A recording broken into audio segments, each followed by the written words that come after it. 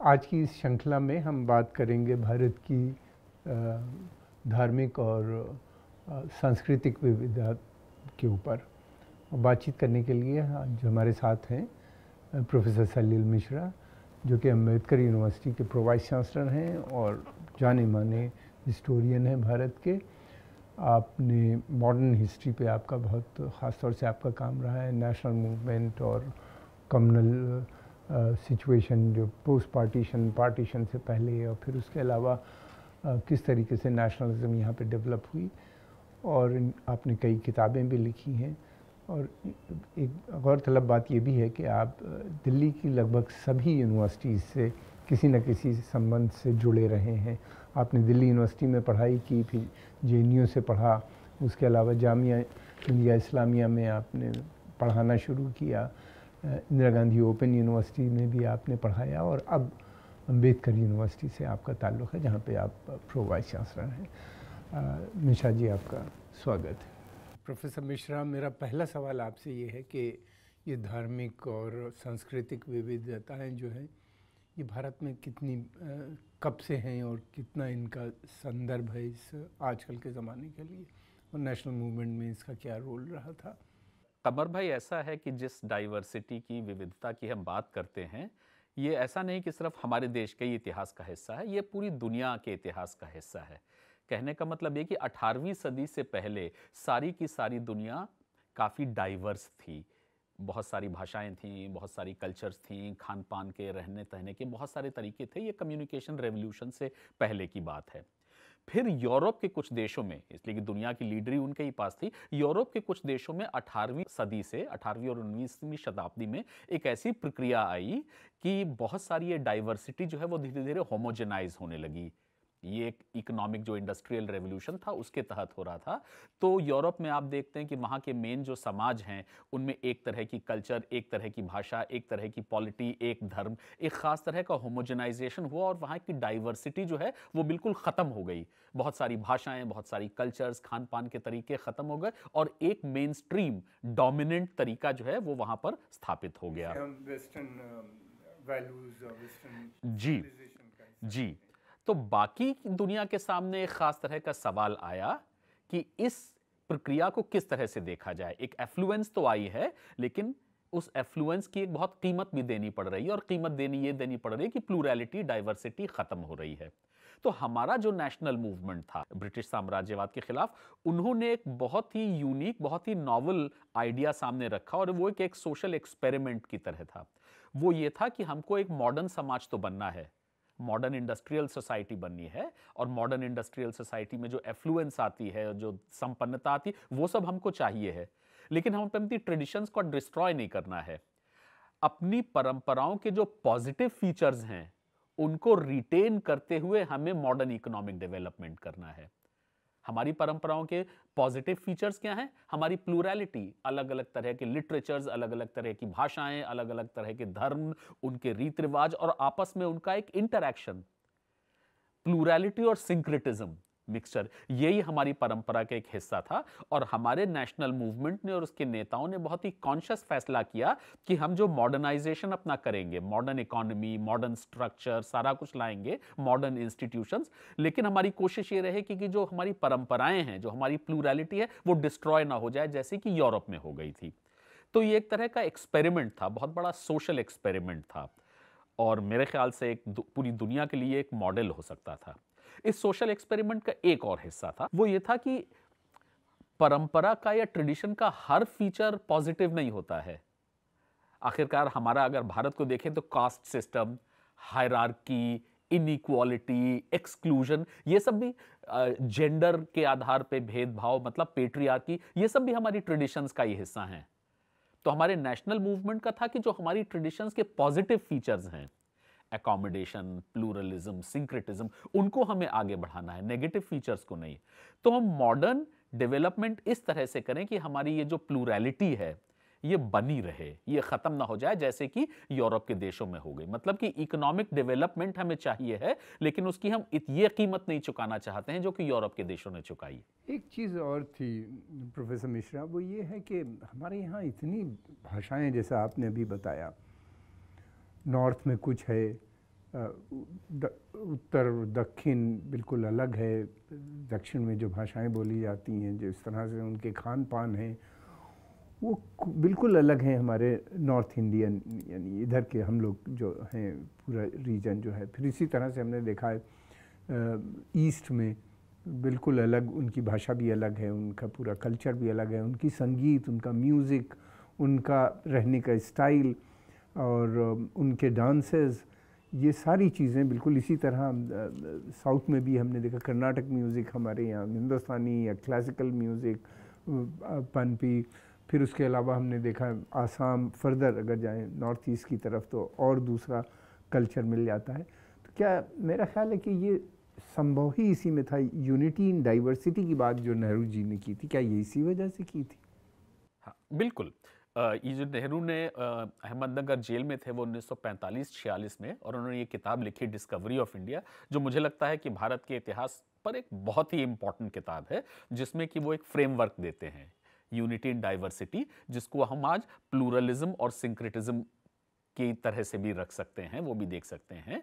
Unity not at the expense of diversity unity along with diversity ये हमारे देश के लिए बहुत ज़रूरी था। जैसे आपने भाषाओं की बात की तो 19वीं सदी के अंत में ब्रिटिश ने एक लिंग्विस्टिक सर्वे यहाँ पे किया। लोग कहते हैं कि दुनिया का सिस्टमैटिक लेवल पे पहला लिंग्विस्टिक सर्वे यही हुआ था, जिसको कि ग्रियर्सन सर्वे के नाम से जाना जाता है। 20 साल तक लगातार उन्होंने काम किया और उसकी जब फाइंडिंग्स आई, तब ये पता लगा कि हमारी जो भाषाई विविधता है which is something we take for granted today उसको पहली बार एक एम्पेरिकल बैकिंग मिली। पहली बार पता लगा कि हमारे पूरे देश में ग्रियर्सन सर्वे ने बताया कि 179 लैंग्वेजेस हैं और 544 डायलेक्ट्स हैं।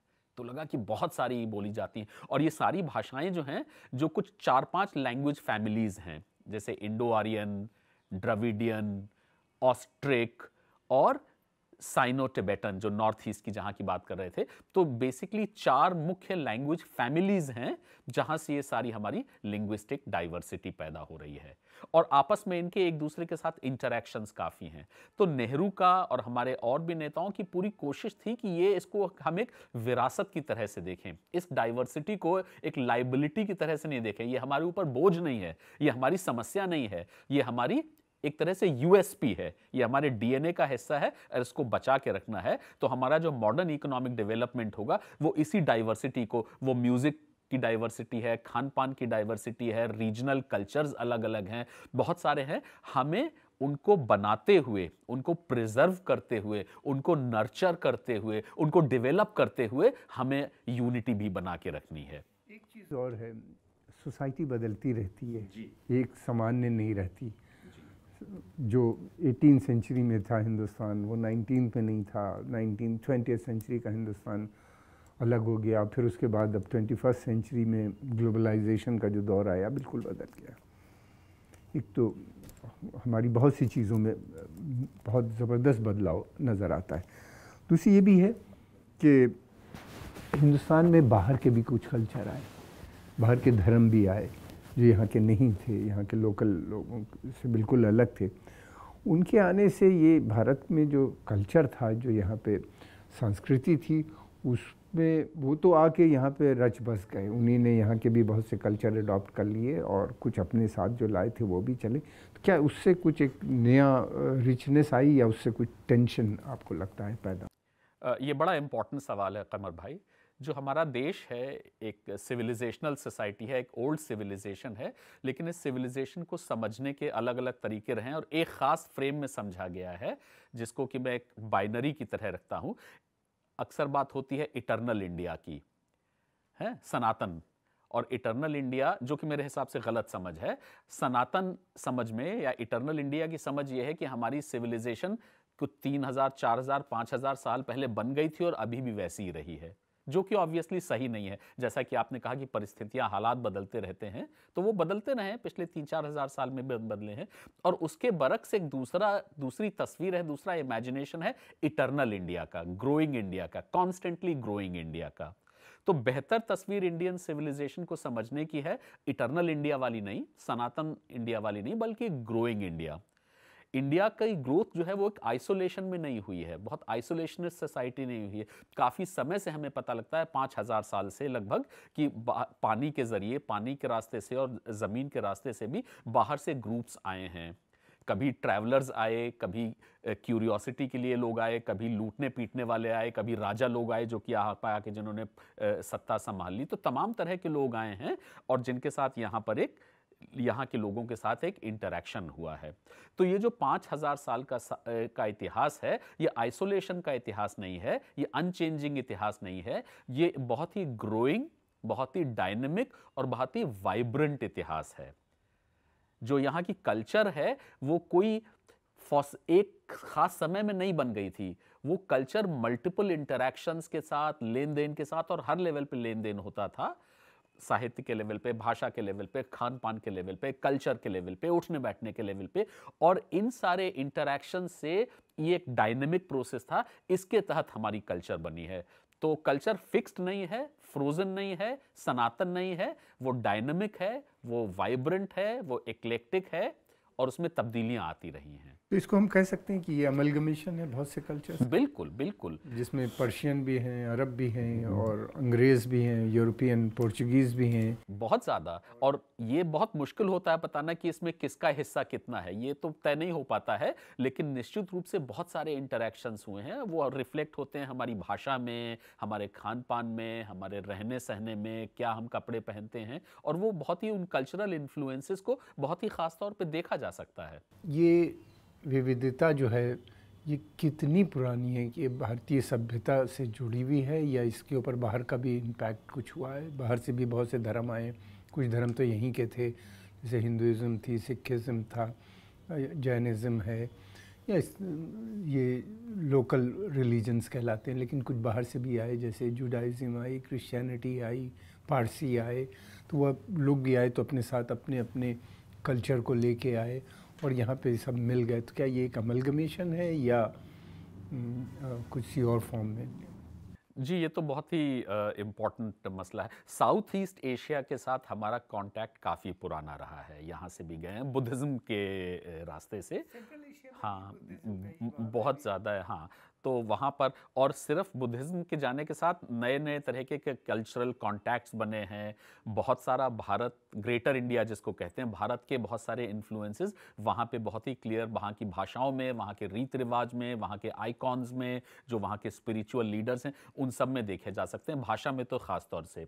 ईरान के साथ भाषाई तौर पे हमारा इतना गहरा संबंध है, वो अब बहुत ज़्यादा लोग उसके बारे में जानते नहीं इसलिए कि ईरान में जो प्री इस्लामिक ईरान है, उसके बारे में लोगों की जानकारी कम होती है। लेकिन जो ओल्ड ईरानियन है और संस्कृत है वो तो बहने ही मानी जाती है, इसलिए इतने कॉमन शब्द हैं जो कि आज भी हैं। राजस्थान, पाकिस्तान, स्थान और स्थान दोनों बिल्कुल एक से हैं। गृह और गाह बिल्कुल एक से हैं। संस्कृत में जिसको गोधूम कहते हैं, फारसी में वो गंदुम कहते हैं गेहूँ के लिए।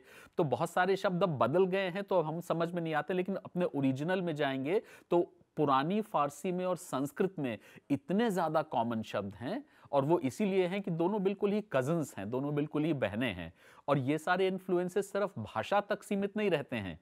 ये लार्जर लेवल पर कल्चरल में भी होते हैं, जो कल्चर लोगों की साइकी लोगों का एक फिलोसॉफिकल वर्ल्ड व्यू दुनिया को देखने, समझने का नज़रिया, एक ख़ास तरह का फेटलिज्म आप बहुत सारे नॉन यूरोपियन सोसाइटीज़ में जो एशिया की हैं, उनमें जाके देखेंगे तो बहुत सारे आपको कॉमनैलिटीज़ नज़र आती हैं। न सिर्फ़ लोग दिखते कैसे हैं लेकिन लोग बोलते कैसे हैं? लोगों का एक जो सांस्कृतिक मेकअप जो होता है जो कल्चरल मेकअप होता है एक इमोशनल यूनिवर्स जो होता है इमोशनल प्रोफ़ाइल उसमें बहुत सारी सिमिलैरिटीज़ दिखती हैं आपको।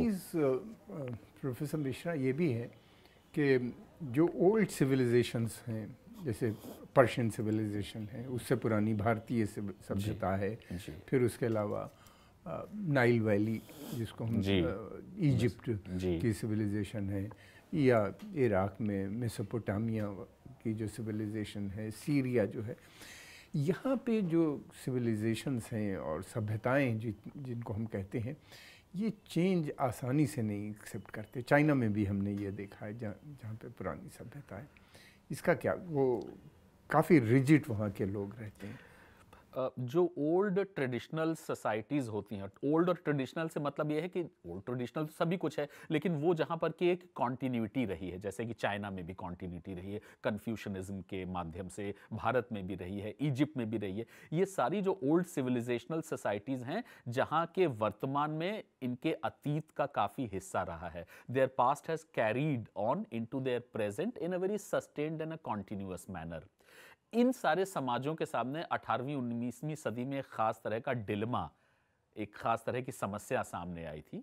वो हमारे यहाँ अगर आप बंकिम और विवेकानंद को पढ़ें और बाकी भी समाजों में पढ़ें, चाइना में भी तो वो दिखती है। और वो यही है कि वो कहते हैं कि हम तो हमारी इतनी ट्रेडिशनल ग्लोरियस सिविलाइजेशन थी और अब यूरोप के छोटे से देश जो हैं, वो आके आर्थिक और राजनीतिक रूप से वो हमको डोमिनेट कर रहे हैं। विवेकानंद ये लगातार सवाल पूछते हैं कि स्पिरिचुअली हम ज़्यादा सुपीरियर हैं मटेरियली वो सुपीरियर हैं तो मटेरियल सुपीरियरिटी क्या इतनी इंपॉर्टेंट हो गई? इस सवाल को वो लगातार ग्रैपल करते हैं और सवाल का कभी अक्सर जवाब ये होता है कि उनको लगता है कि ये जो स्पिरिचुअलिटी है, ये जो कॉन्टिन्यूटीज हैं, ये जो ओल्ड ट्रेडिशंस हैं, ये हमारी विरासत है, हम उनको क्यों छोड़ दें? तो जब ये स्ट्रैंड आता है थिंकिंग का तो एक खास तरह का रेजिस्टेंस पैदा होता है टुवर्ड्स चेंज जो चेंज एक मॉडर्न डायरेक्शन में है। इसलिए कि वो चेंज कहाँ से आ रहा था? 19वीं सदी में 20वीं सदी में और कभी तक आज भी वो चेंज बाहर से आ रहा है और कहाँ से आ रहा है? यूरोप से आ रहा है। तो चाइना के लोगों को भी लगता था कि हम तो ज़्यादा बहुत सुपीरियर हैं और हम ये छोटे मोटे देश हमको हम पे आके डोमिनेट कर रहे हैं हम पे कब्जा कर रहे हैं। तो उससे एक खास तरह का रिवाइवलिज्म या एक रेजिस्टेंस टू चेंज या इनहिबिशन टू चेंज पैदा होती है जो कि धीरे धीरे लोगों के व्यक्तित्व में उनकी मानसिकता में उनकी साइकी में उसमें भी सीप डाउन कर जाती है। एक चीज़ इकबाल ने तो यहाँ तक कह दिया कि सारे जहाँ से अच्छा हिंदुस्तान हमारा ये उसी टेंडेंसी का फिर उसके बाद ये भी कहा यूनान मिस्र रूमा सब मिट गए। जहाँ से लेकिन अभी बाकी नामो निशा हमारा। तो ये उसी को दर्शाता है। इसी तरह हम पर्शियन सिविलाइजेशन में वहाँ पर भी यही है वहाँ पर भी यही है। ये एक बहुत ही सिविलाइजेशनल डिलमा है और बहुत सारे जो पुराने देश थे उनके जो थिंकिंग लोग थे उन्होंने इस डिलमा को एक्सपीरियंस किया। इन सारे देशों में इजिप्ट में चाइना में भारत में उनको लग रहा था कि क्या हो रहा है? ये यूरोप के जो छोटे छोटे देश हैं मटीरियली सुपीरियर हैं और वो आके हम पे डोमिनेट कर रहे हैं और हमें तब्दील कर रहे हैं। और दूसरी तरफ़ ये भी था एक सिंक्रेटिक कल्चर जिसको अभी आपने पहले भी ज़िक्र किया बार बार आपके जवाब में आता है सिंक्रेटिक कल्चर ये सिंक्रेटिक कल्चर कब बना और इसमें किस तरीके से विविधता आपको नज़र आती है? देखिए, हमारा भारत की ही मैं बात करूँगा। एक ओल्ड सिविलाइजेशनल सोसाइटी है, पुरानी सिविलाइजेशन है। ये तो लगभग तय था, बहुत लोगों ने 19वीं सदी में मान लिया था। लेकिन इस सिविलाइजेशन की बेसिक यूनाइटिंग प्रिंसिपल्स क्या हैं? किस आधार पे ये जुड़ी हुई है? ये एक बहुत बड़ा सवाल था और उसके अलग अलग लोगों ने अलग अलग तरह से जवाब दिए। जैसे एक यूरोप के ब्रिटेन, ब्रिटिश स्कॉलर थे विंसेंट स्मिथ, हमारे यहाँ के अपने थे राधा कुमुद मुखर्जी, जिन्होंने 1910 19 के आसपास में किताब लिखी थी, फंडामेंटल यूनिटी ऑफ़ इंडिया। अक्सर उन्होंने इसका आधार मॉडर्न पॉलिटिक्स में नहीं था, इसका आधार किसी मटेरियल वेल्थ में नहीं था तो इन लोगों ने अक्सर इसका आधार जो है वो हिंदुइज्म में देखा। उन्होंने कहा कि आधार पुरानी प्री मॉडर्न टाइम्स में जोड़ने का काम धर्म करता है। और धर्म का भारत में उन्होंने कहा था कि मेन धर्म हिंदुइज्म है तो उन्होंने सिविलाइजेशनल यूनिटी का जो बेसिक रॉ मटेरियल जो बेसिक प्रिंसिपल है, उसको धर्म में देखा और सिंगल धर्म में देखा हिंदुइज्म में देखा। राधा कुमुद मुखर्जी ने भी विंसेंट स्मिथ ने भी। लेकिन इसका बरक्स एक दूसरा ऑल्टरनेटिव इमेजिनेशन भी था। अगर आप महात्मा गांधी की हिंद स्वराज पढ़ें अगर आप जवाहरलाल नेहरू की डिस्कवरी ऑफ़ इंडिया पढ़ें तो वो बात तो करते हैं सिविलाइजेशन की सिविलाइजेशनल यूनिटी की भी बात करते हैं, लेकिन वो कॉमन रिलीजन की बात नहीं करते हैं। वो रिलीजन की बात करते हैं। गांधी एक religion as a moral order की बात करते हैं, लेकिन उसके उन मॉरल ऑर्डर में क्रिश्चियनिटी भी शामिल है बुद्धिज्म भी शामिल है इस्लाम भी शामिल है हिंदुइज्म भी शामिल है, और हिंदुइज्म के अंदर जो मल्टीपल ट्रेडिशंस हैं, वो सब शामिल हैं। तो एक एक इमेजिनेशन आया था सिविलाइजेशनल यूनिटी का हिंदू इमेजिनेशन लेकिन इसके बरक्स हमारे नेशनल मूवमेंट के दौरान दौरान में और गांधी की राइटिंग में नेहरू की राइटिंग में जो ऑल्टरनेटिव इमेजिनेशन ये है कि वो सिर्फ़ हमारी रिलीजियस यूनिटी हिंदू यूनिटी नहीं है, वो डीपली फिलोसॉफिकल लेवल पे रिलीजियस यूनिटी है। People are very religious Vivekananda कहते हैं कि जो भूमिका यूरोप में पॉलिटिक्स की है यूनाइट करने की, वो भूमिका हमारे देश में रिलीजन की है। लेकिन रिलीजन से उनका मतलब था कि इस्लाम, Sikhism Hinduism religion unites people it does not divide people तो ये उनका एक इमेजिनेशन था। कल्चर पे हम लोग बात कर रहे थे, अगर आप देखें, जो मुसलमान यहाँ चाहे अरब आए हों या सेंट्रल एशिया से जो मुसलमान आए, उन, वो भी यहाँ पे ऐसा रच बस गए जिसकी कोई नहीं यहाँ का जो मुसलमान है इसका कोई कल्चरली लिंक जो है वो अरब से नज़र नहीं आता जहाँ पे इस्लाम पैदा हुआ। और यहाँ की जो उनकी जो मुसलमानों की शादियाँ ब्याह लोकल मज़हब को में जो सेलिब्रेशन ईद बकरीद या दूसरी चीज़ों पे जो होती हैं वो सब वही हैं जो यहाँ के लोकल लोगों में। गीत भी वही गाए जाते हैं जो आपको आ, किसी एक हिंदू के घर में गाया जाता है। और बिरहा है तो वो भी एक है, कॉमन मुसलमान हो या हिंदू हो, या आप वो देख लीजिए बाबुल मेरा नैयर छूटे जाए ये रुखसती के टाइम जो गाया जाता है, जितनी रस्में हैं शादी की, वो सब इंडियन है। तो ये जो इंडियन कल्चर था, जिसको हिंदू कल्चर कहा कुछ लोगों ने उसको हिंदू कल्चर भी कहा है, वो इतना डोमिनेंट था कि उसको और इतना मेरा ख्याल है अच्छा रहा होगा कि और इतना सुपीरियर था उस समय कि उसको अडॉप्ट करने में किसी को परेशानी भी नहीं हुई। मैं दो तीन बातें आपसे आई एग्री विद यू लेकिन दो तीन बातें मैं जो कहना चाहता हूँ। पहली तो ये कि एक इस्लाम जैसे सोशल ऑर्डर के लिए किसी भी देश में जाने पर वहाँ की लोकल स्थानीय परिस्थितियों के साथ क्या रिश्ता रखना है, ये एक बहुत इंपॉर्टेंट सवाल रहा है। इसलिए कि एक ग्लोबल सिस्टम है। और आमतौर पे बहुत सारे स्कॉलर्स ने एक बहुत इंटरेस्टिंग डिस्टिंक्शन की है between high Islam and low Islam high Islam से मतलब है इस्लाम जो डॉक्ट्रिनल है स्क्रिप्चुरलिस्ट है Islam of the scholars Islam of the book जो किताब पर आधारित है। और लो इस्लाम्स होते हैं रिचुअलिस्टिक सूफी फोक सिंक्रेटिक जिसमें कि लोकल परंपराएँ भी काफ़ी शामिल रहती हैं। और ये हाई और लो के बीच में जो एक खास तरह की टेंशन रहती है, वो इस्लाम के इतिहास का एक बहुत बड़ा हिस्सा है अलग अलग समाजों में।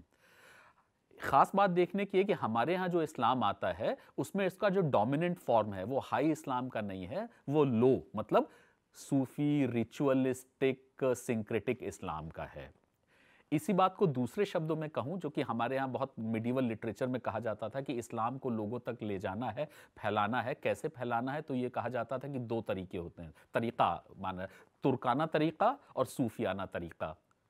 तुर्काना तरीका तो पॉलिटिकल कॉन्क्वेस्ट वाला है पॉलिटिकल पावर कोअर्शन वाला है और सूफियाना तरीका ये है कि लोकल लेवल पे कनेक्टिविटीज बना के लोगों तक पहुँच के। और ये बहुत सारे लिटरेचर में यह माना गया, बताया गया कि सूफियाना तरीका जो है, वो तुर्काना तरीका से सुपीरियर है और ज़्यादा बेहतर है। और यही हमारी हिस्ट्री का फीचर है तो बहुत सारा जो सिंक्रिटिज्म जो आप बता रहे हैं, वो इन दोनों बातों में है। पहली बात तो ये कि हमारे यहाँ डोमिनेंट फॉर्म लो इस्लाम की थी, Sufi ritualistic high classical Arabic Islam उतना इन्फ्लुएंशियल नहीं था।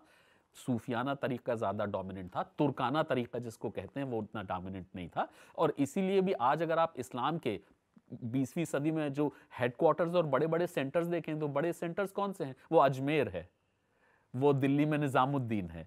ये हाई इस्लाम के सेंटर्स नहीं है, ये वही लो रिचुअलिस्टिक सूफी सिंक्रेटिक इस्लाम के के फीचर्स हैं, और वही यहाँ पर इस्लामिक एक्सपेंशन का हिस्सा रहा है, और इसी वजह से जिस तरह की इंटरमिक्सिंग की आप बात करते हैं वो देखने को मिलती है। पैरेलल स्ट्रीम भी रही है हमारे यहाँ। बहुत सारे इस्लाम में एक्सक्लूसिविस्ट भी रहे हैं जो इस बात से खुश नहीं हैं। जिनको लगता है कि ये करप्शन है और ये नहीं होना चाहिए। शाह वलीउल्ला थे और भी काफ़ी लोग हैं जो प्योरिस्ट थे। लेकिन जो प्योरिस्ट स्ट्रैंड है वो बहुत ज़्यादा डोमिनेंट नहीं रहा है। डोमिनेंट स्ट्रैंड जो है वो सिंक्रेटिक वाला ज़्यादा रहा है। ये हमारी हिस्ट्री का हिस्सा है। और इन्हीं ने आके लोकल भाषाओं को भी अडॉप्ट कर लिया। बिल्कुल। और फिर उसके अलावा ये भी हुआ, देवबंद तो काफ़ी कंजर्वेटिव हाँ कंजर्वेटिज्म तो है, रहा है। कंजर्वेटिज्म रहा है, एक रिवाइवलिज्म भी रहा है। एक जब किस अतीत को ग्लोरीफाई करें तो अक्सर जो जिस पास्ट को उन्होंने ग्लोरीफाई किया, वो इंडिया का एंशंट पास्ट नहीं था, वो अरबिक पास्ट था। वो सारी चीज़ें तो रही हैं कंजर्वेटिज्म और रिवाइवलिज्म रहा है। लेकिन उसी के साथ साथ सिंक्रेटिज्म भी रहा है। जो प्योरिस्ट और आइसोलेशनिस्ट ट्रेंड था जो शाह वलीउल्लाह वाला था वो काफ़ी कमज़ोर पड़ता चला गया वो ज़्यादा यहाँ मज़बूत नहीं था। और नेशनल मूवमेंट में भी हमने देखा कि देवबंद का एक बड़ा सेक्शन और खुल इसी, के इसीलिए वो नेशनल मूवमेंट में, उन, उनकी, उनकी किया। उन्होंने मुस्लिम लीग को तो नहीं सपोर्ट किया मूवमेंट फॉर पाकिस्तान को सपोर्ट नहीं किया नेशनल मूवमेंट के साथ ज़्यादा जुड़े रहे मौलाना हुसैन मदनी और सारे के बड़े बड़े जो उनके नेता थे अताउल्ला शाह बुखारी सब नेशनल मूवमेंट के साथ जुड़े रहे। वो इसी वजह से। एक हम पिछले कुछ दिनों से हम एक नया ट्रेंड देख रहे हैं ख़ासतौर से इस्लाम के अंदर। रिवाइवलिस्ट ट्रेंड जो है वो बहुत स्ट्रांग होता जा रहा है। और उसकी बेसिस पाकिस्तान नज़र आती है। पाकिस्तान से ये मूवमेंट शुरू हुआ। अफ़गानिस्तान पाकिस्तान इस रीजन में। आ, क्या ये जो पार्टीशन जो हुआ था हमने तो सेकुलर लिबरल डेमोक्रेटिक हिंदुस्तान बनाया। और उनका पार्टीशन जो था वो धर्म के नाम पे हुआ था, इस्लाम के नाम पे हुआ था और उन्होंने एक इस्लामिक स्टेट बनाई। तो क्या ये उसका लॉजिकल कंक्लूजन है कि वो उन्होंने जो अपने यहाँ सेंक्रेटिक कल्चर या विविधता जो थी उसको ख़त्म करके एक इस्लामिक कल्चर और अपने को अरब से जोड़ने की जो कोशिश की, उसकी वजह से ये रिवाइवलिज्म है? वो एक वजह हो सकती है, और भी वजह हैं। मुझे लगता है कि ये सोशियोलॉजिकली बहुत इंपॉर्टेंट सवाल है कि एक ही लैंड मास है एक ही तरह की कॉमन हिस्ट्री है, लेकिन सैंतालीस के बाद में बिल्कुल ही दो अलग अलग तरह की ट्रेजेक्टरीज नज़र आती हैं। हिंदुस्तान की डोमिनेंट ट्रेजेक्टरी जैसे आपने कहा प्लूरलिज्म को सेलिब्रेट करने की सिंक्रेटिज्म की है, और पाकिस्तान बहुत ही एक आइसोलेशनिस्ट और एक बहुत ही सिंगल कल्चर और लैंग्वेज वगैरह वाले रास्ते पे जाता है। मुझे लगता है कि इसकी एक वजह यह भी हो सकती है कि जो जो इलाकों में पाकिस्तान बना, वहाँ हमारा नेशनल मूवमेंट काफ़ी कमज़ोर था। नेशनल मूवमेंट का फैलाव उन जगहों पे कुछ कम था। तो नेशनल मूवमेंट जब जहाँ जाता था तो वहाँ नेशनल मूवमेंट के आइडियाज़ भी जाते थे। नेशनल मूवमेंट के आइडियाज़ क्या थे? वही सिंक्रेटिज्म और प्लूरैलिटी के, वही ट्रेडिशन के पॉजिटिव फीचर्स को सेलिब्रेट करने के। और इसी वजह से इन सारी फीचर्स को आज सैंतालीस के बाद में इंस्टीट्यूट करना ज़्यादा आसान हो पाया। जो पाकिस्तान मूवमेंट बना था 1940 में जब पहली बार जिन्ना ने, मुस्लिम लीग ने ये डिमांड रखी कि एक मुस्लिम का रिप्रेजेंटेटिव अलग एक सॉवरन देश होना चाहिए। तो उसमें पहली बात उन्होंने ये कही थी कि जो वेस्टर्न डेमोक्रेसी है, वो इंडिया के लिए सूटेबल नहीं है। मतलब एक बेसिक बिल्डिंग ब्लॉक जो उनका था आइडियाज़ का, वो ये था कि डेमोक्रेसी सूटेड नहीं है। इसलिए कि democracy will mean domination of the majority और वगैरह, इस इस तरह के। तो बहुत सारा एक लग रहा था कि कॉन्शियस रिजेक्शन भी कर रहे हैं। ये जिन्ना के दिमाग में नहीं आया होगा, जिन्ना की थिंकिंग ये थी कि जब आज़ादी मिल जाएगी, पाकिस्तान बन जाएगा तो शायद हम पाकिस्तान को एक लिबरल डेमोक्रेटिक तरीके से डेवलप करेंगे। लेकिन you can not break from the past ऐसा नहीं हो सकता है कि आप 20 साल तक एक खास तरह की नेगेटिव वैल्यूज़ प्रीच करते रहें और फिर एक दिन आप कहें कि नहीं, अब वो हम सब छोड़ के अलग तरीके से चलेंगे। और ये पाकिस्तान का सबसे बड़ा डिलमा ये है कि this inability to break from the past Pakistan के सामने हमेशा ये दो चॉइसेस रही हैं कि या तो जो साउथ इंडिया की एक विरासत है, जो उसकी ट्रेडिशंस हैं, जो उसका हेरिटेज है, उसके साथ जोड़े और पाकिस्तान की आइडेंटिटी उस तरह से बनाएँ और मेरे हिसाब से वही बेहतर होगा। और दूसरा ये है कि जो एक्सक्लूसिव इस्लामिस्ट हाई इस्लाम वाली अगर आइडेंटिटी बनाएँगे, तब फिर वो अरब के साथ और सेंट्रल एशिया और मिडल ईस्ट के साथ जुड़ेंगे, जो कि geographically it will be a denial of geography तो पाकिस्तान में लगातार ये संघर्ष चल रहा है कि अपनी जियोग्राफी और ट्रेडिशंस के आधार पे अपनी नेशनल आइडेंटिटी फ़ैशन करें या एक जो एक्सक्लूसिविज्म है उसके आधार पे करें। और मैं तो यही चाहूँगा कि जो ट्रेडिशन हिस्ट्री और जियोग्राफी है, उसके आधार पर अगर पाकिस्तान अपनी नेशनल आइडेंटिटी फ़ैशन करता है तो वो पाकिस्तान के लिए भी बहुत बेहतर रहेगा। इंडिया के लिए भी बहुत बेहतर रहेगा और साउथ एशिया के लिए एज अ होल बहुत बेहतर लेकिन उसमें फिर एक दूसरी प्रॉब्लम आ जाती है पाकिस्तान के अंदर पाकिस्तान तो बन गया। आप बॉर्डर खींच देने से तो मुल्क बनते नहीं मुल्क तो हज़ारों साल और सैकड़ों साल लगते हैं किसी एक मुल्क को बनने में वो सोशल कंट्रैक्ट आज भी पाकिस्तान के अंदर जो है वो सब रीजनल नेशनलिटीज़ जो हैं वो बहुत ही स्ट्रांग हैं। वो लोग पहले सिंधी हैं बाद में पाकिस्तानी हैं पहले पठान हैं बाद में पाकिस्तानी हैं पहले बल्लोच हैं बाद में पा... तो वो जो यूनिटी है वो आ नहीं पाई। और उसको यूनाइट करने के लिए जो उन्हीं ने शरिया और इस्लाम की बात कर रहे हैं वो काफ़ी वहाँ पे आर्टिफिशियल लगती है और उसकी वजह से वहाँ पे काफ़ी टेंशन लगते हैं जो कि भारत में हमने देखा। सेकुलरिज्म और सेंक्रेटिक कल्चर होने की वजह से ये परेशानी नहीं आ पाई। हाँ नहीं बिल्कुल वही सवाल है कि प्लूरैलिटी तो एक कंडीशन है लेकिन सवाल है कि इस प्लूरैलिटी पे आपका रवैया आपका नज़रिया आपकी अप्रोच क्या होगी? प्लूरैलिटी को इंडिपेंडेंट इंडिया ने भी इनहेरिट किया हमारी भी बहुत प्लूरैलिटी थी। उसी लिंग्विस्टिक और कल्चरल प्लूरैलिटी को जब पाकिस्तान बन गया उन्होंने भी इनहेरिट किया।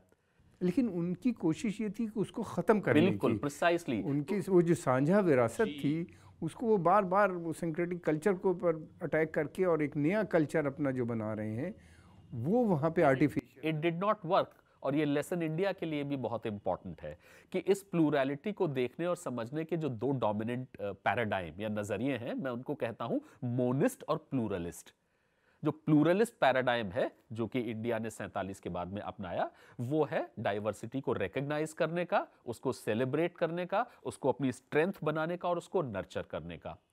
जो मोनिस्ट पैराडाइम है, जिसको कि पाकिस्तान के लीडर्स ने अपनाया, वो पैराडाइम है डोमिनेशन का एक single culture single thought process single system बाकी पे डोमिनेट करे। तो ज़ाहिर सी बात है प्लूरल कंडीशंस पे जब आप होमोजेनाइटी ऊपर से इंपोज कर देंगे तो उसका रेजिस्टेंस भी होगा। लोग रेजिस्ट करेंगे। अगर आपकी एक खास कल्चर है और कोई बाहर से आप पे आप कोई अपनी कल्चर ला देगा तो नेचुरल आपका रिएक्शन होगा कि आप उसको रेजिस्ट करेंगे। तो इंडिविजुअल्स भी रेजिस्ट करते हैं ग्रुप्स और कम्युनिटीज भी रेजिस्ट करते हैं। तो जो मोनिस्ट पैराडाइम है प्लूरैलिटी को देखने का, उसमें ये सारे टेंशंस कॉन्ट्रडिक्शंस और कॉन्फ्लिक्ट्स इनहेरेंट हैं।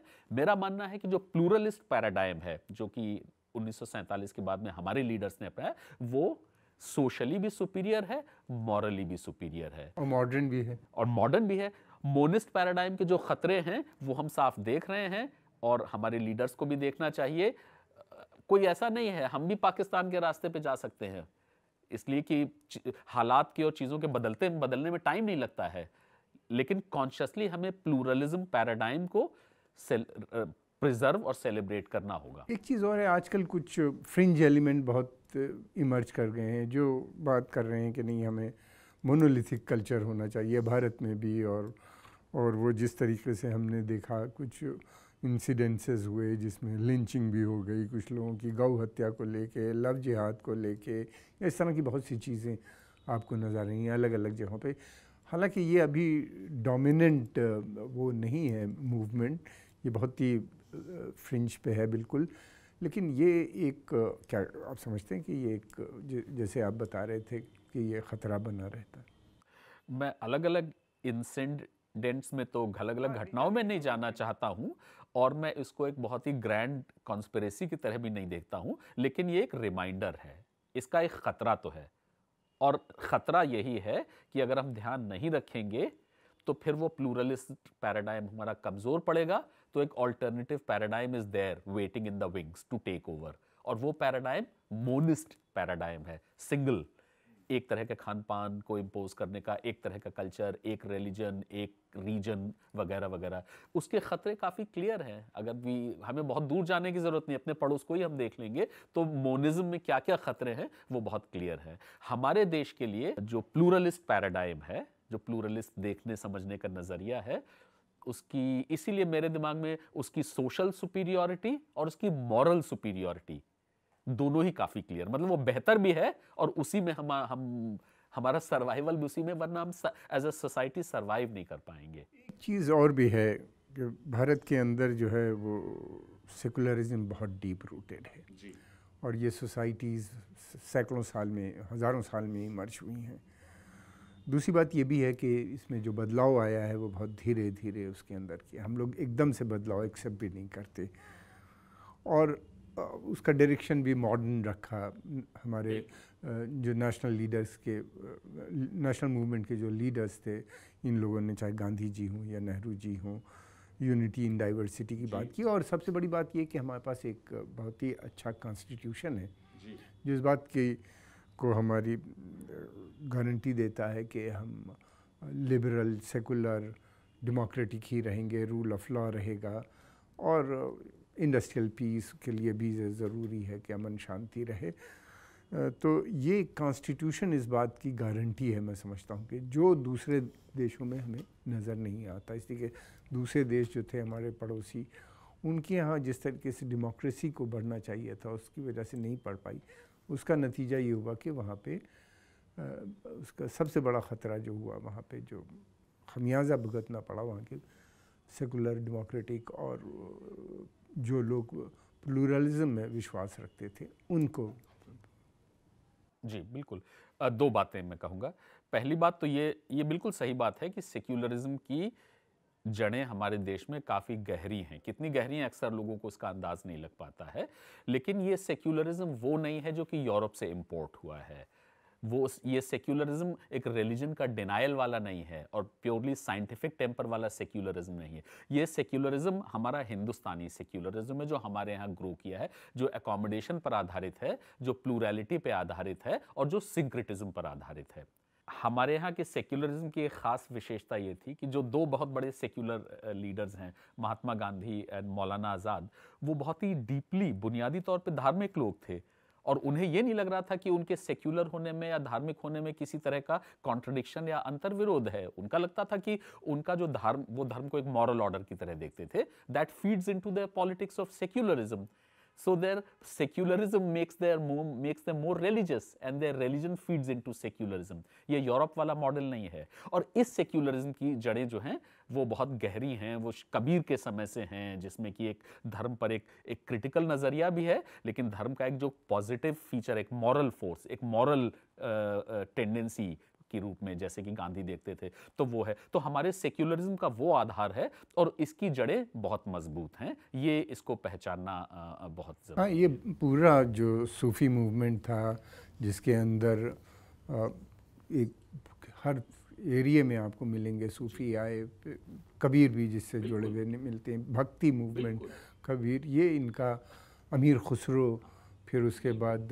जो एक पूरा सिलसिला है उससे जुड़ा हुआ या अजमेर की दरगाह जिसको आपने कहा ख्वाजा साहब या निज़ामुद्दीन औलिया। दूसरी चीज़ एक चीज़ और भी थी कि जो हमारे नेशनल लीडर्स थे इन्हीं ने जो परिभाषा सेकुलरिज्म की दी वो बड़ी इंपॉर्टेंट है कि स्टेट तो सेकुलर होगी मगर पीपल जो हैं वो अपना रिलीजन जो भी रिलीजन है उसको न केवल मान उस पर विश्वास या धर्म रखें बल्कि उसको पब्लिकली सेलिब्रेट भी कर सकते हैं। तो हमारे यहाँ तो इतने फेस्टिवल्स होते हैं चाहे वो दिवाली हो होली हो सड़क के ऊपर यू नो या गुरु नानक की बर्थडे हो या या ईद हो या क्रिश्चियन ये जो होता है एक्समस है ये पब्लिकली मनाए जाते हैं। शायद मेरे ख्याल से दूसरे मुल्कों में इस तरह से इतना नहीं होता। एक्चुअली सेक्युलर स्टेट जी सेक्युलर स्टेट का मतलब क्या है? ये बड़ा इंटरेस्टिंग सवाल है और उसके तीन चार अलग अलग मॉडल्स हमको देखने को मिलते हैं। सेक्युलर स्टेट एक तो अमेरिक मैं नाम अमेरिकन मॉडल देखता हूँ तो अमेरिकन मॉडल जो है अमेरिकन मॉडल है, वो म्यूचुअल नॉन इंटरफियरेंस का है। सरकार कहती है कि हम आपकी ज़िंदगी में, धार्मिक ज़िंदगी में दखल नहीं देंगे और आप, हम, सरकार हमको कैसे चलाना है, उसमें दखल मत दीजिए। म्यूचुअल नॉन इंटरफियरेंस ये एक मॉडल होता है सेक्युलर स्टेट का। दूसरा फ्रेंच मॉडल जो है, वो म्यूचुअल नॉन इंटरफियरेंस का नहीं है। स्टेट कहती है कि हम करेंगे इंटरफियर अगर आप कुछ गड़बड़ करेंगे धर्म के नाम पे, तब हम इंटरफियर करेंगे। तो पूरी तरीके से आप इंटरफियर नहीं करेंगे। तो एक एग्रेसिव इंटरवेंशन का मॉडल है दूसरा, वो फ्रेंच मॉडल कह सकते हैं। तीसरा है कलोनियल मॉडल कलोनियल मॉडल जैसे हमारे यहाँ ब्रिटिश स्टेट थी वो रिलीजियस स्टेट नहीं थी, वो क्रिश्चियन स्टेट नहीं थी, लेकिन बहुत रिलीजन को उन्होंने प्रमोट किया कम्युनलिज्म को प्रमोट किया सेपरेट इलेक्ट्रेट्स को हिंदू कॉन्स्टिट्यूएंसी अलग मुस्लिम कॉन्स्टिट्यूएंसी अलग, वो अपना उन्होंने तो it was not a theological state theocratic state it was not a Christian state लेकिन बहुत ज़्यादा उन्होंने रिलीजियस डिफरेंस को बहुत प्रमोट किया। ये तीसरा मॉडल है।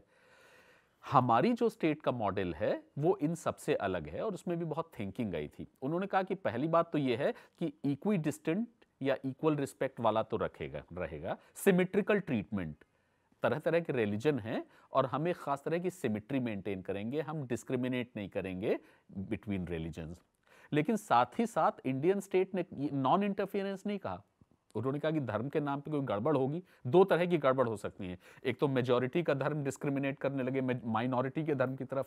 डेमोक्रेसी में ये तो संभव है। या दूसरा है कि एक विद इन अ रिलीजन धर्म के नाम पे गड़बड़ियाँ हो सकती हैं ना? आप महिलाओं के साथ डिस्क्रिमिनेट कर सकते हैं, आप और तमाम कर सकते हैं। तो सरकार ने ये राइट रखा है कि हम उसमें भी इंटरफियर करेंगे। तो धर्म में अगर जो भी गड़बड़ी होगी तो कौन दूर करेगा? सरकार निगाह रखेगी और दूर करेगी। तो म्यूचुअल नॉन इंटरफियरेंस नहीं रहेगा। तो जो इंडियन मॉडल हमारा था, वो इन सारे तीनों मॉडल से अलग था। वो इक्वी डिस्टेंट सिमेट्रिकल ट्रीटमेंट और पॉजिटिव इंटरवेंशन का भी था, हस्तक्षेप का था। भारत सरकार ने यह कभी नहीं कहा कि हम इंटरवीन नहीं करेंगे। और नेहरू तो लगातार कहते थे कि गड़बड़ी होगी तो हम करेंगे इंटरफियर और इंटरवीन किया भी। तो equidistant symmetrical against discrimination और पॉजिटिव इंटरवेंशन ये चारों हमारे सेक्युलर मॉडल जो है स्टेट का, उसके फीचर्स रहे हैं। और आई मेरे हिसाब से ये बिल्कुल ही परफेक्ट मॉडल है। एक चीज़ और थी हमारी विविधता जो है वो हमारे संगीत और हमारे आर्किटेक्चर बिल्डिंग्स में अगर हमें होती है इसमें काफ़ी बाहर का भी है और कुछ यहाँ का भी है यूरोपियंस भी हैं पर्शियन भी हैं इंडियन भी सब मिला हुआ है। इसको आप कैसे देखते हैं? म्यूज़िक में भी और उसके अंदर भी दिखती है। ये उसी इंटरेक्शन का हिस्सा है और जो मेन यहाँ पर चाहे हिंदुइज्म हो चाहे इस्लाम हो जो हाई क्लासिकल स्क्रिप्चुरलिस्ट फॉर्म है वो कभी बहुत डोमिनेंट नहीं हुए। क्योंकि वो डोमिनेंट नहीं थे तो उसकी वजह से बहुत सारा एसिमुलेशन बहुत सारा इंटरेक्शन जो है, वो संभव हो पाया। आर्किटेक्चर के लेवल पे, गाने के लेवल पे म्यूज़िक के लेवल पे, हर लेवल पे आप आर्किटेक्चर को देखेंगे तो जो मिडिवल टाइम की बड़ी बड़ी जो इस्लामिक आर्किटेक्चर है, उसमें आपको सतिया मिलता है, उसमें कमल आपको मिलेगा, उसमें कलश आपको मिलेगा, बहुत सारे अभी देख लीजिए। और ये सतिया, कमल और कलश, ये तो पूरी तरीके से सेक्रेड हिंदू सिंबल्स हैं, लेकिन ये सारे वहाँ के सारे के सारे, अभी भी आप देख लीजिए तो आपको ये तीन, कमल बहुत मिलता है और कलश बहुत मिलता है। इसकी वजह यही है कि ऊपर से जो डॉक्ट्रिनल डोमिनेशन है, वो बहुत कम था हमारे यहाँ का। एक शब्द में अगर कहूँगा तो वो यही है कि स्क्रिप्चुरलिस्ट डॉक्ट्रिनल सेंट्रलाइज्ड डोमिनेशन या सेंट्रलाइजेशन वो हमारे यहाँ ज़्यादा नहीं रहा। रिचुअल लाइफ की अपनी एक रिलेटिवली अपेक्षाकृत एक अटोनमी रही। जिस तरह का रिलीजियस डोमिनेशन हम मिडिवल यूरोप में देखते हैं, या सेंट्रल एशिया में बाकी जगहों में देखते हैं, वो हमारे यहाँ उस तरह का नहीं था। धर्म थे, लेकिन वो सेंट्रलाइजेशन नहीं था इंस्टीट्यूशनल सेंट्रलाइजेशन नहीं था। एक सवाल ये भी है कि इस कल्चरल डाइवर्सिटी जिसको हम कहते हैं, ये साझा विरासत इसके अंदर क्या बॉलीवुड का भी बहुत बड़ा रोल है? या, और उसको पैन इंडिया बनाने में एक जो काम किया है वो एक, मैं समझता हूँ, बड़ा सराहनीय काम किया आप किस तरह इसको देखते हैं? ये बड़ी इंटरेस्टिंग चीज़ है कि एक ऐसे समय में जब उर्दू का एक डिक्लाइन हो रहा था और ख़ास तौर से हमारे देश में। और सैंतालीस के बाद में वो डिक्लाइन बढ़ गया, इसलिए कि वो उर्दू का एक नॉर्मेटिव एसोसिएशन मुस्लिम्स के साथ कर दिया था। उर्दू मुस्लिम ज़बान बनाई, लोग देखने लगे थे, हिंदी को हिंदू ज़बान बना दिया गया था। जब आज़ादी हो गई, विभाजन भी हो गया, पाकिस्तान की ऑफिशियल स्टेट उर्दू हो गई तो हमारे देश में फिर उर्दू को एक तरह से दरकिनार कर दिया गया। और वो एक सिस्टमैटिक मार्जिनलाइजेशन उर्दू का हुआ, उस पर मैंने काफ़ी लिखा भी है, इसलिए मैं ज़्यादा नहीं जाना चाहता हूँ। लेकिन एक हमारी सोशल कल्चरल लाइफ का एक पहलू ऐसा था, जिसमें कि उर्दू का डोमिनेशन लगातार बना रहा, और वो है हमारा पॉपुलर सिनेमा जिसको कि पॉपुलर सिनेमा बॉम्बे सिनेमा आज बॉलीवुड कहते हैं, हिंदुस्तानी सिनेमा कहते हैं। वो हिंदी, उर्दू ज़बान में है, लेकिन वो पलता बढ़ता बॉम्बे में है नॉन हिंदी स्पीकिंग उसके सोशियोलॉजिकली एक बहुत ही इंटरेस्टिंग फीचर है। उसमें इंटरेस्टिंगली उर्दू डायलॉग्स में थीम सिलेक्शन में बहुत डोमिनेंट रही है। गाने में जो हमारे बड़े बड़े उर्दू के शायर थे, साहिर, मजरू, शकील, सरदार जाफरी, इन सब में बड़ी एक्टिव वो रही। तो जो जो जो क्लासिकल उर्दू का जो प्योरिज्म था या जो ब्राह्मणिज्म था, वो यहाँ पर नहीं दिखता है। उन्होंने पॉपुलर कल्चर को बहुत कॉन्ट्रीब्यूट किया और काफ़ी हद तक उसको डोमिनेट भी किया और उसका असर भी देखने को मिलता है। जो फिफ्टीज़ के सिनेमा में सिक्सटीज़ के सिनेमा में सेवेंटीज़ के सिनेमा में जिस तरह की ज़बान और जिस तरह की भाषा बोली जाती है, वो पूरी तरीके से उर्दू लिटरेचर से आई है, उर्दू ड्रिवन है। ये मुझे एक वजह जो उसकी लगती है वो एक बेसिकली हम उसको उर्दू कहेंगे या हिंदुस्तानी कहेंगे? हिंदुस्तानी जावेद अख्तर तो ये कहते हैं कि उनको जब वो अपना गाना लिखने के लिए कोई शब्द ढूंढते हैं तो उनके पास बहुत बड़ा रिसोर्सेज है। तो कहीं भी वो गुण को वो गुण बना देते हैं कि ये है मेरा गुण। तो वो उन्होंने कहा कि मिले जुले वो आते हैं और वही उसी की वजह से बहुत बढ़िया लिरिक्स पैदा होते हैं, उसी की वजह से बहुत बढ़िया डायलॉग्स पैदा होते हैं। एक सिंक्रिटिज्म जो हमारे यहाँ है। हाँ उसको हिंदुस्तानी कहा जाए तो वो बेहतर रहेगा। हिंदुस्तानी ज़्यादा बेहतर शब्द है। मुझे लगता है कि एक वजह यह हो सकती है कि चूँकि जो मेन स्ट्रीम उर्दू, जो उर्दू की पीक्स है 19वीं सदी में जब डेवलप करती है तो उसमें लव या इश्क एक बहुत ही डोमिनेंट ट्रोप की तरह डेवलप करता है। वो इसके एक उसके फिलोसॉफिकल डायमेंशन भी हैं बहुत एब्स्ट्रैक्शन भी है तमाम उस पर जो है और वो अठारहवीं सदी से चलता है वो वलीद अकनी ने कहा कि शगल बेहतर है इश्कबाजी क्या क्या हकीकी हो क्या मजाजी का कि इश्क कीजिए चाहे दुनिया से कीजिए चाहे ईश्वर से कीजिए चाहे माशूक से कीजिए लेकिन इश्क अपने आप में बहुत बड़ी चीज़ है। तो हमारा जो डोमिनेंट थीम 1950s में बॉम्बे सिनेमा की बनी हो सकता है कि उसमें जो एक लव बेस्ड रहा हो उसकी वजह से उर्दू आई हो। मुझे पता नहीं क्या वजह है। कई चीज़ें। पहली बात तो ये कि ये सूफी भक्ति ट्रेडिशन का बड़ा इम्पोर्टेंट पार्ट था जिसके अंदर इश्क बहुत ज़्यादा है आपको नज़र आएगा।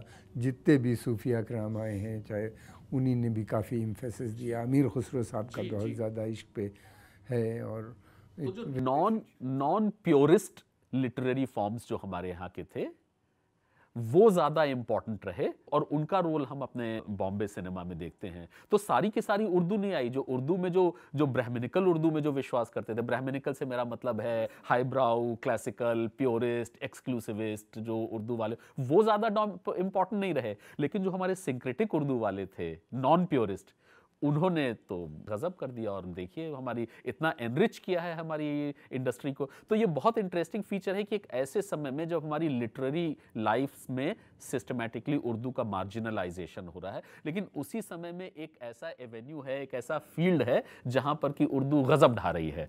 तो अलग अलग फॉर्म्स में अलग अलग डायमेंशंस हमको दिखाई देते हैं और अलग अलग फॉर्म्स में लिटरेचर हमारे पॉपुलर लेवल पे बॉम्बे सिनेमा में आता है। गालिब हैं, इश्क पर ज़ोर नहीं और कितना सब है। इकबाल भी हैं, लेकिन इकबाल का मज़ाक भी थोड़ा सा उड़ाया गया है। जो इकबाल की बड़ी लाइन थी कि मुस्लिम है, हम वतन है, सारा जहाँ हमारा।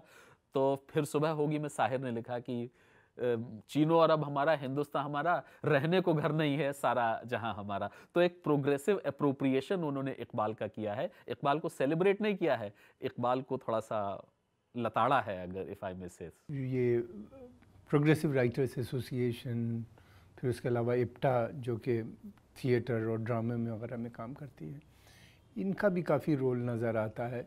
ये भारतीय जो विविधताएँ थीं या जो कल्चर था उसको प्रमोट करने के लिए बॉलीवुड के अंदर और उसके बाहर से भी नेशनल मूवमेंट में भी ये लोग काफ़ी सक्रिय थे और लगातार इनका एक कम से कम सन सत्तर के दशक तक तो नज़र आता है बड़ी संख्या में राइटर्स शायर पोएट और स्क्रिप्ट राइटर और उर्दू भाषा जो वहाँ पे डेवलप हुई, हिंदुस्तानी जिसको हमें कहना चाहिए, जिसमें उर्दू और हिंदी का मिक्सचर था इसका कितना इम्पैक्ट पड़ा है इस विविधता को लेके?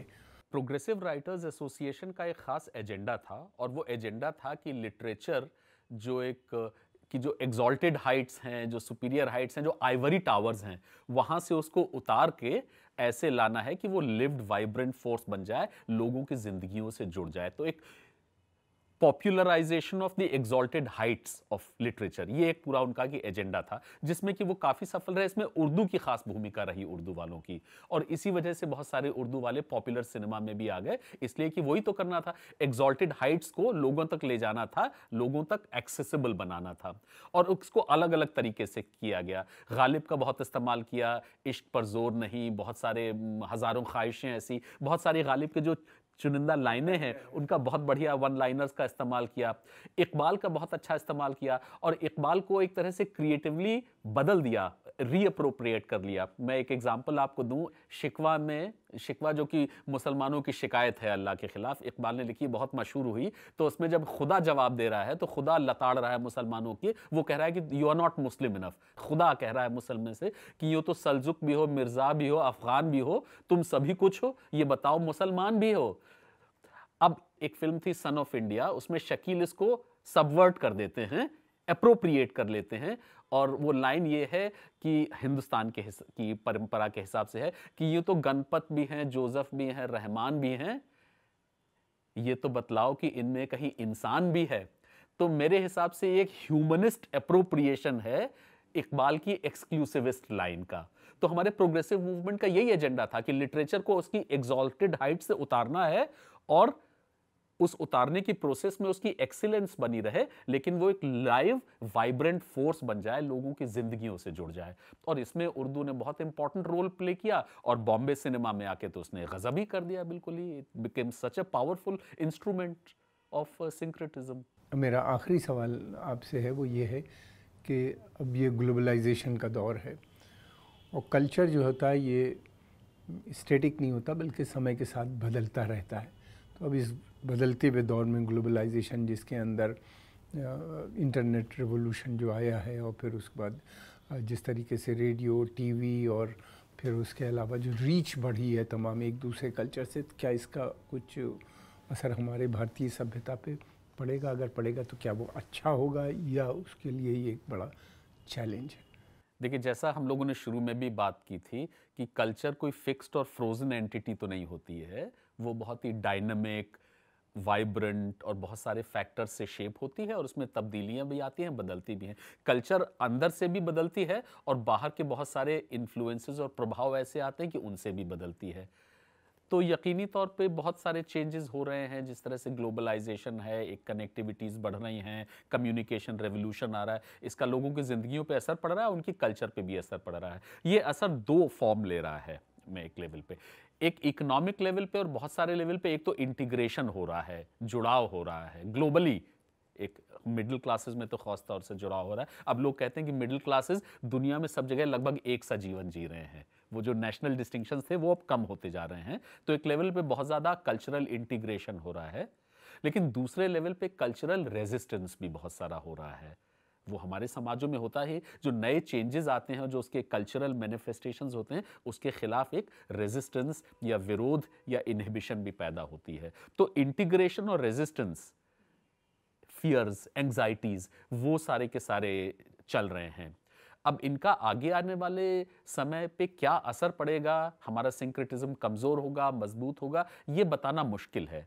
लेकिन ये बात तय है कि जो हमारी प्लूरैलिटी और सिंक्रेटिज्म कि क्या पूरी तरह से ख़त्म तो नहीं होगी, उतना डरने की ज़रूरत नहीं है, लेकिन वो क्या शक्ल सूरत अख्तियार करेगी, ये काफ़ी हद तक इस पर निर्भर करता है कि जो इंटीग्रेशन हो रहा है और जो एक रेजिस्टेंस भी हो रहा है जो विरोध भी हो रहा है, दोनों कितने कमज़ोर या कितने पावरफुल बनते हैं। इस सवाल का एक इकोनॉमिक डायमेंशन भी है। जो ग्लोबलाइजेशन हो रहा है, जो कि बेसिकली इकोनॉमिक टेक्नोलॉजिकल प्रोसेस है, इसका जो हमारी क्लास प्रोफ़ाइल है the rich and the poor उस पर क्या फ़र्क पड़ता है? अगर वो डिवाइड्स मज़बूत होते हैं, अगर कॉन्सेंट्रेशन होता है वेल्थ का और दूसरी तरफ़ हाशिए पे लोग ज़्यादा आ जाते हैं मार्जिनलाइजेशन हो जाता है, फिर तो बहुत ज़्यादा रिएक्शन और बहुत ज़्यादा इसका विरोध होगा। लेकिन अगर ऐसा होता है कि एक जेन्युइन डिफ्यूजन ऑफ़ एफ्लुएंस होता है और जो हाशिए के लोग हैं, उनकी ज़िंदगियों पर भी एक पॉजिटिव असर होगा। तब फिर लोग शिरकत करेंगे ग्लोबलाइजेशन में, तब फिर जो कल्चरल इंटरेक्शंस हैं, वो ज़्यादा मज़बूत होंगे across nation states not just within nation state but also across nation state तो ये आपका इंपॉर्टेंट सवाल है, लेकिन इसका जवाब ओपन एंडेड है। निर्भर इस तरह से करेगा कि जो इकोनॉमिक फैक्टर्स कैसे प्ले आउट करते हैं और इंटीग्रेशन और रेजिस्टेंस की फोर्सेस कितनी मज़बूत या कमज़ोर बनती हैं? मुझे तो ज़्यादा डर नहीं लगता मेरा अगर अपना विचार देखें तो क्योंकि भारतीय सभ्यता बहुत पुरानी है और इसने सबको एब्जॉर्व कर लिया जो भी आया बाहर से। तो मैं समझता हूँ कि ये जो नई वैल्यूज़ आ रही हैं ये भी किसी न किसी फॉर्म में यहाँ अडॉप्ट हो जाएँगे। एक कोई रिपोर्ट बनी थी 10-15 साल हो गए हैं और उसका फोकस यही था कि जो ग्लोबलाइजेशन इकोनॉमिक टेक्नोलॉजिकल ग्लोबलाइजेशन हो रहा है, जो कम्युनिकेशन रेवोल्यूशन हो रहा है, उसका अलग अलग सोसाइटीज़ पर क्या असर पड़ रहा है, लोग किस तरीके से रिस्पॉन्ड कर रहे हैं। और इस रिपोर्ट का निष्कर्ष ये था कि जो लार्ज प्लूरल सोसाइटीज़ हैं, जहाँ इन एनी केस प्लूरैलिटी है they are in a much better position to adjust against the forces of globalization and homogenization इसलिए कि जहाँ एक प्लूरैलिटी है, वहाँ कुछ और एलिमेंट्स आ जाते हैं तो वो भी अकोमोडेट हो जाते हैं। तो हिंदुस्तान का इतिहास तो कुछ कुछ उसी तरीके का रहा है। तो ये माना गया कि जो बड़े और प्लूरल समाज हैं, वो ज़्यादा बेहतर तरीके से क्रिएटिवली अपने आप को एडजस्ट कर पा रहे हैं against new changes professor Mishra, आपके बहुत आभारी हैं। आपने जिस तरीके से संस्कृति और धर्म को की जो विविधताएँ हैं भारत के अंदर, उसको बयान, बताया। और हम, उम्मीद है कि आने वाले समय में ये हमारे जो दर्शक हैं, उनको ये काफ़ी पसंद भी आएगा और उनको समझने में इसकी काफ़ी मदद मिलेगी।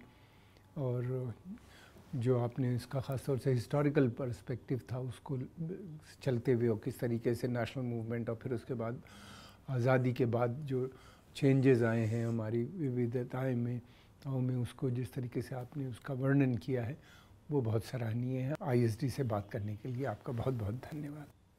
Thank you very much